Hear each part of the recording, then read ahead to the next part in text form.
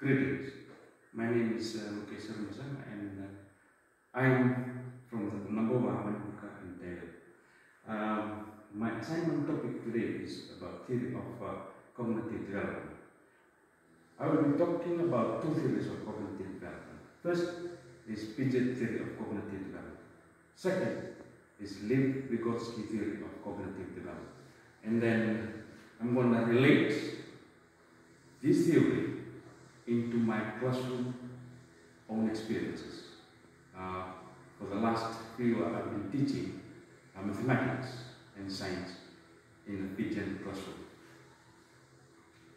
Piaget theory of cognitive development. A child should not be fed with information. Okay, what um, uh, Piaget uh, trying to say is we should not feed the student with information. Second is the child should not learn through individual process in which he okay, uses his own thought to create his own knowledge. Then each child goes through four stages of development. Number one, sensory motor stage. Number two, pre-operational stage. Number three, concrete operational stage. And number four, formal operational stage. These four stages of development is that stage one, child experiences his surrounding using his five senses. Stage two, a child started to think illogically and language development happens gradually.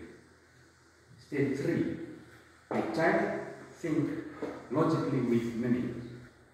Stage four, a child with logic think logic with multiple possibilities. Abstract thinking. Going up through the four stages, a child usually encounters new pieces of information. A child brain will undergoes the process of assimilation and accommodation to reach mental equilibrium. The process of uh, accommodations and assimilation. You will see the diagrams, mental process, assimilation, accommodation to reach equilibrium. The new pieces of information is received by the child. Assimilation is when he attaches the newly learned piece of information to his schemas. Okay, through exploration or guidance, he rearranges schemas to accommodate the new pieces of information. Second theory is Vygotsky theory of cognitive development. Social constructivism based on social interactions of a child inside the classroom along with personal thinking process. Some of Vygotsky's work contained in his theory of social constructivism are 1.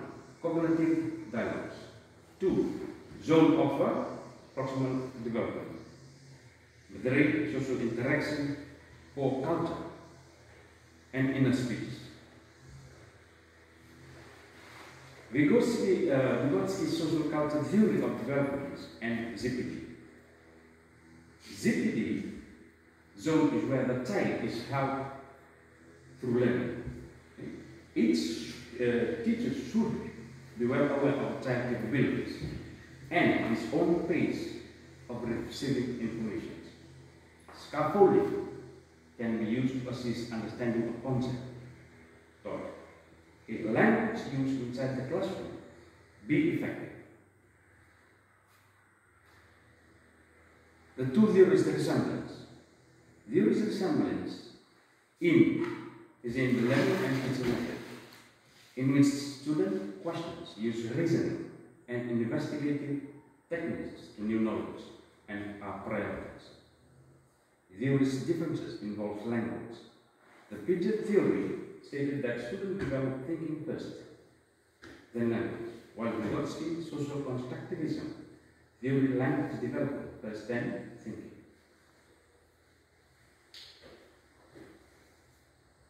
My experience as a teacher, mathematics teacher for the last few years, during my teaching experiences, problem solving is an area of challenge faced by many students.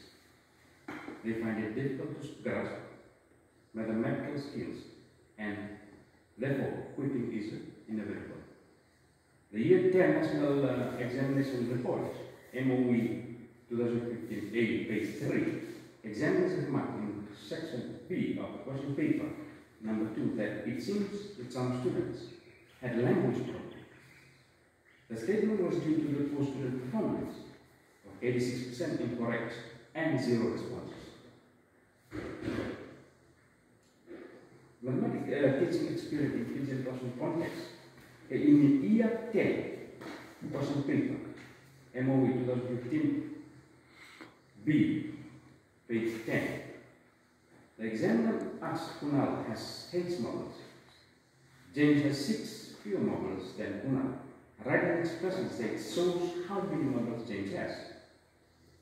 In the above aspect, problem solving situations, you need to have the skill set in order to interpret the word problem before formulating the correct form of uh, the expression. However, the absence of the skill set, or skill set was noted by the examiners on the poor student performances as commented that there were difficulty faced by students in formulating mathematical questions. And some of the Fijian local researchers uh, views okay, spoon-feeding teaching techniques is to complete the subject coverage in limited time, uh, space, uh, space of time. Second, lesson delivery method treats students as they have the same learning capability.